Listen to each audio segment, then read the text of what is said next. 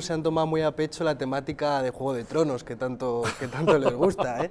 Eh, lo, que, lo que yo veo ante lo que yo creo que estamos es ante la antesala de la descomposición de un partido político, de Podemos. Decía Eugenia que todo esto viene a raíz de los resultados electorales de Andalucía, donde Podemos eh, decide no concurrir con su propia marca, y yo creo que esto viene de antes. Y, si recordáis, en Vista Alegre 2, en el segundo congreso de Podemos, Errejón eh, se enfrenta a Pablo Iglesias, dos proyectos políticos distintos, y, yo creo que ese cisma entre lo que representa Errejón y lo que representa el sector oficial, que es el sector de Pablo Iglesias, viene, eh, las diferencias vienen marcadas desde ese, desde ese segundo congreso.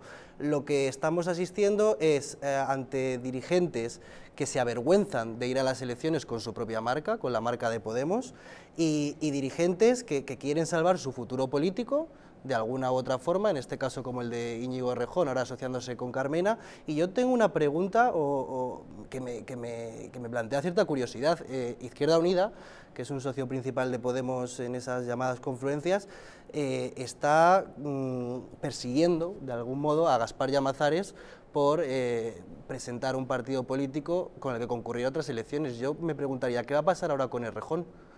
Eh, ¿Es compatible los estatutos de Podemos que Rejón se presente por otro partido político diferente al de Podemos? ¿Van a abrirle un expediente disciplinario? ¿Le van a suspender de militancia? Carlos,